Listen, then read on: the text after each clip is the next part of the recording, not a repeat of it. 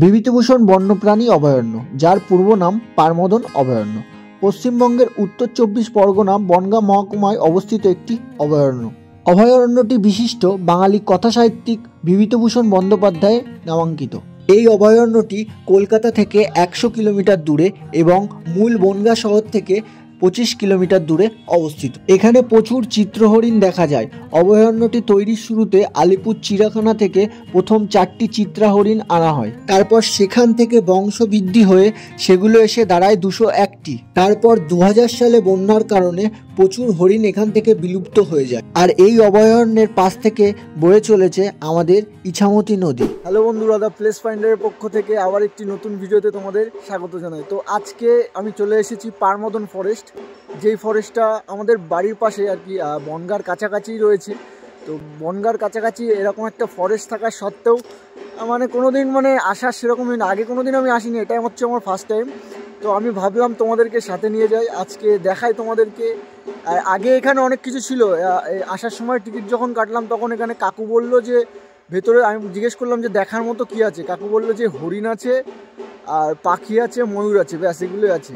আগে নাকি আরও অনেক কিছু ছিল, তা বলল হরিণটা দেখাও যেতে পারে, আবার নাও দেখা যেতে পারে। তো আমরা যাব এখন ভেতরের দিকে ভেতরের দিকে গিয়ে দেখব যে কেমন কি এখানকার পরিবেশ। প্রথমত তোমাদেরকে জানাই, এই ফরেস্টে ঢোকার শুরুতেই রয়েছে অনেক বড় একটা পিকনিক স্পট যেখানে তোমরা পিকনিকের জন্য বুকিং করতে পারো। এবং ডান পাশে রয়েছে সাইকেল এবং মোটরসাইকেল রাখার নির্দিষ্ট স্থান। এখানে পরিবেশটা এতটাই সুন্দর, তোমরা সেটা দেখতেই পাচ্ছ। মানে এমনি শীতকাল, তার উপর এরকম একটু ঠান্ডা ঠান্ডা ওয়েদারে আসা মানেই মানে মন একেবারে জুড়িয়ে যায়। মানে যেদিকেই তাকাচ্ছি সেদিকেই শুধু গাছ আর গাছ। মানে এতটাই সুন্দর লাগছে যে বলার মতো না। এবং সব কিছুর মধ্যেই রয়েছে পাখির কিচিরমিচির আওয়াজ। আর ভাবছিলাম এতদিনে একটা সঠিক পরিবেশ আমি খুঁজে পেয়েছি। তারপরে পায়ে হেঁটে কিছুটা পথ অতিক্রম করার পরেই আমরা এমন একটা জায়গায় চলে আসি, আর যেখান থেকে রাস্তা দুদিকে ভাগ হয়ে গিয়েছে। আর ঠিক তার মাঝখানেই রয়েছে আমাদের বাঙালি কথা সাহিত্যিক বিভূতিভূষণ বন্দ্যোপাধ্যায়ের মূর্তি। আর মূর্তির ডান দিকে রয়েছে একটি ছোট্ট অভয়ারণ্যের ম্যাপ। এক পা দুপা হাঁটতে হাঁটতে আমরা সোজা পথ ধরে আস্তে আস্তে এরকম একটি খাঁচা দেখতে পেলাম। আর খাঁচা দেখতে পেয়ে আমরা এখানে আসার সাথে সাথে দেখি এখানে রয়েছে বিভিন্ন প্রজাতির টিয়া পাখি। ফরেস্টের ভেতরে এসেই সোজা রাস্তা থেকে হাঁটতে হাঁটতেই ঠিক একটা অনেক বড় একটা খাঁচা দেখলাম। আর এইখানটায় দেখতে পাচ্ছি বিভিন্ন প্রজাতির টিয়া পাখি। এগুলোই মনে হয় হচ্ছে বনটিয়া। এই যে দেখো তোমরা।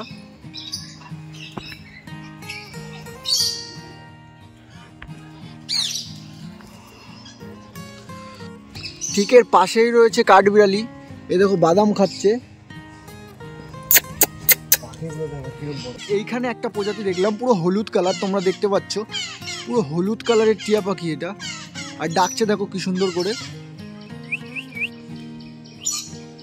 টিয়া পাখির ডাক এতটা সুন্দর না মানে টিয়া পাখি আমাদের বাড়ির পাশেও একজনের বাড়িতে ছিল মানে সেই টিয়া পাখি আর এই টিয়া পাখি অনেক আকাশ পাতাল তফাৎ মানে এত সুন্দর করে ডাকছে, সব সময় পাখির আওয়াজটা তোমরা শুনতেই পাচ্ছ, আর পিছনে এত বড় দেখতে পাচ্ছ, এটা পুরোটাই পাখির খাঁচা, এখানে পায়রা রয়েছে, ওই পাশে ময়ূর রয়েছে, এ পাশে প্রায় তিন চারটে প্রজাতি টিয়া পাখি রয়েছে, আর এখানে দেখতে পাচ্ছ কত ছোট ছোট কচ্ছপ রয়েছে, প্রচুর কচ্ছপ প্রচুর কচ্ছপ এখানে এটা সব থেকে বড়। আর এখানে পায়রাগুলোর সাইজ দেখো তোমরা। আমাদের ওইদিকে সচরাচর মানে পায়রার সাইজ কেমন হয়? এছাড়া অনেক ছোট হয়। ওই যে ওই পাশে যেগুলো রয়েছে, ওরকম মিডিয়াম সাইজ হয়। কিন্তু এইগুলোর সাইজ দেখো কত বড় বড়।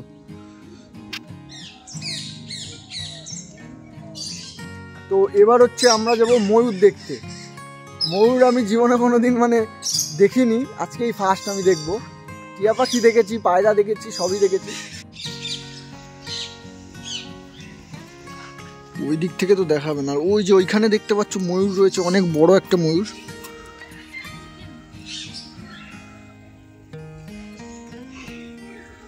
আর একটা কথা তোমাদেরকে জানিয়ে রাখি, এই অরণ্যটি শুধু অরণ্যই নয়, এর মধ্যে রয়েছে একটি ছোট চিলড্রেন পার্ক, যেটি শিশুদের জন্য নির্মাণ করা হয়েছে।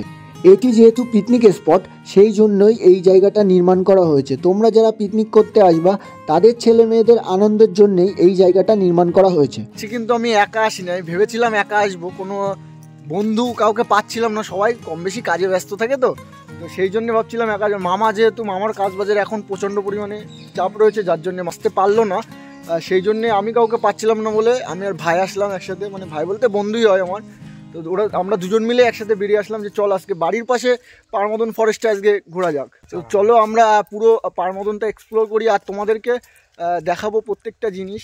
তার পরপরই আমরা রওনা দিই হরিণের উদ্দেশ্যে। আর হরিণের উদ্দেশ্যে রওনা দেওয়ার ফলেই রাস্তার বাম পাশেই আমরা দেখতে পেলাম প্রচুর নাম না জানা উদ্ভিদ, যেগুলো আমরা কখনোই দেখিনি, যেগুলোর সাথে আমাদের পরিচয়ও নেই। তারপরে বুঝলাম এগুলো এখানে সংরক্ষণ করে রাখা হয়েছে। আর হ্যাঁ এই খাঁচাটা দেখতে পাচ্ছ, এই খাঁচাটার ওপারেই রয়েছে হরিণগুলো সংরক্ষণ করে রাখা। হরিণ তো আমরা দেখতে পেলাম না, আপাতত। দেখি হরিণের দর্শন পাই কিনা। আর তোমাদেরকে জানিয়ে রাখি, এখানে আসলেই কিন্তু তোমরা বাঘ, ভাল্লুক, কুমিরের দর্শন পাবে না। না পাবা কোনো হিংস্র পশুর। কিন্তু এখানের পরিবেশটা এমনই যে তোমরা আসলে তোমাদের বাঘের ভয় লাগবেই। মনে হবে এই মনে হলো জঙ্গল থেকে এক দৌড়ে বাঘ ছুটে আসলো।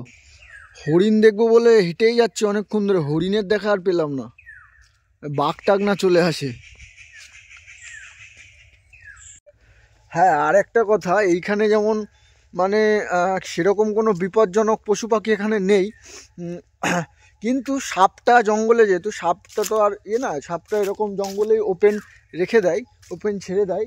তো সাবধানে চলাফেরা করতে হবে, এটাই হচ্ছে কথা। হরিণের দেখা তো পেলাম না, এখানে এখানে একটা চিল চিল দেখতে পাচ্ছি।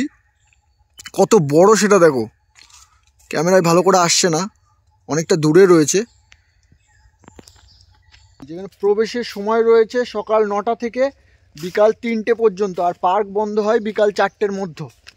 আর সত্যি কথা বলতে আমি একা আসতে চেয়েছিলাম, কিন্তু এখানে পরিবেশটা দেখতে পাচ্ছ, পেছনেও কেউ নেই, আর সামনেও কেউ নেই। একা যদি আসতাম, আজকে পুরো একা এসে বোকা হয়ে যেতাম পুরো একদম। এই জায়গাটা এতটা অন্ধকার আর ভেতরে এরকম জঙ্গল, মনে হচ্ছে বাঘের অস্তিত্ব এখানে রয়েছে, যা দেখছি। এখানে একটা কাকার কাছে জানা গেল যে, এইখানে হরিণ তো আমরা দেখতে পেলাম না। অনেকক্ষণ ধরে হাঁটছি, পুরো মানে যেটা আর কি রেলিং দেওয়া যে পেছনে দেখতে পাচ্ছ রেলিংয়ের মানে একদম প্রথম থেকে শুরু করে এখন শেষ মাথায় রয়েছি, তাও এখনও হাঁটতে হাঁটতে আবার অনেকটা ঘুরতে হবে। তো আমরা এখনও হাঁটছি, কিন্তু হরিণ দেখা পেলাম না। তো কাকার কাছে জিজ্ঞেস করলাম, কাকা হচ্ছে নৌকা চালায়। তো কাকা বলছে যে হচ্ছে, এইখান থেকে হরিণ দেখতে হলে চারটের সময় হরিণের খাবার দেয়। তো হরিণ দেখতে গেলে চারটে অবধি অপেক্ষা করতে হবে। এখন যেহেতু বেশি বাজে না, এখন প্রায় একটা দেড়টা, এরকম বাজে সামথিং তো চারটে অবধি মানে দু তিন ঘণ্টা তো অপেক্ষা করা সম্ভব না। দেখি, এখন হাঁটতে হাঁটতে যাচ্ছি, যদি হরিণের দেখা পাই তাহলে তো ভালোই হলো। আর এই যে এই সব গাছগুলো দেখতে পাচ্ছ তোমরা ভেঙে পড়ে রয়েছে, এই গাছগুলো খুব সম্ভবত আমফান জ্বরে হয়তো ভেঙে পড়ে গেছিল, ওই জন্যে সেটা এখনও এরকম রয়েছে। এই যে এপাশটা হচ্ছে ইছামতি নদী, আর ইছামতি নদীর ওই পারে হচ্ছে, ওই সামনেটা হচ্ছে ওখানে নীলকুঠি আছে। আর তোমরা যারা হচ্ছে বনগাতে থাকো, আমি জানি অনেকে কম বেশি এখানে এসেছে, কিন্তু তোমাদের কাছে আমার একটা রিকোয়েস্ট যে তোমরা আবার আসো, এসে ঘুরে যাও। কেননা এই জায়গাটা সত্যি খুবই ভালো জায়গা। এই নিস্তব্ধ পরিবেশ আর কি। নিস্তব্ধ পরিবেশে বিশেষ করে যাদের লাইফে অনেক প্রবলেম থাকে অনেক চাপ থাকে নিস্তব্ধ পরিবেশ তাদের খুবই ভালো লাগে। যেমন আমার। অনেক সময় ধরে হাঁটছি। পুরো মানে এই ফরেস্টটা পুরো মানে এতটাই বড় না মানে হাঁটতে হাঁটতে প্রায় এই আধা ঘণ্টা চল্লিশ মিনিট হয়ে গেছে না?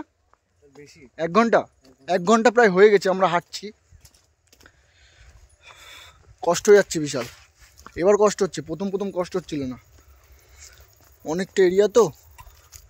তোমাদেরকে হরিণ দেখাবো বলে শুধু একটা হরিণের জন্য চার কিলোমিটার হেঁটে আসলাম। তাহলে বুঝতে পারছ একটা ভিডিও বানাতে কতটা কষ্ট হয়। আর তোমরা ভিডিওর মেন কথা সাপোর্ট করছ না ঠিকঠাক। তো আমি বলব, প্রত্যেকবারই রিকোয়েস্ট করি, এবারও আমার রিকোয়েস্ট ভিডিওতে সাপোর্ট দেখাও। অনেক অনেক অনেক সাপোর্ট করো। ভিডিওটা ভালো লাগলেও একটা লাইক করে দাও। কারণ একটা ভিডিও বানাতে প্রচুর কষ্ট হয়। যে তোমরা দেখতে পাচ্ছ এটা হচ্ছে rest house Paramadan forest rest house government of West Bengal হ্যাঁ এইগুলো যদি চালু করে, তাহলে ভালো হয় একটু। অনেকটা পথ অতিক্রম করার পরে আমরা রীতিমতো হাঁপিয়ে গেছিলাম, তারপর আমরা সোজা চলে আসি একেবারে এন্ট্রেন্স যেখানে সেখানে। এবার আমরা বাড়ির উদ্দেশ্যে রওনা দেব। আর দুঃখের বিষয় এটাই যে হরিণা তোমাদেরকে দেখাতে পারলাম। পরে যদি আবার কখনো আসা হয় এখানে, তাহলে অবশ্যই তোমাদেরকে দেখাবো। তো বন্ধুরা, আজকের ভিডিওটা এই পর্যন্ত ভালো লেগে থাকলে একটা লাইক দিও দিও, আর চ্যানেলে যারা নতুন, তারা চ্যানেলটিকে সাবস্ক্রাইব করে দিও। এরকমই আরও নতুন নতুন ভিডিও তোমাদের জন্য এনে থাকব। ও দেখা হবে নেক্সট ভিডিওতে টাটা বাই বাই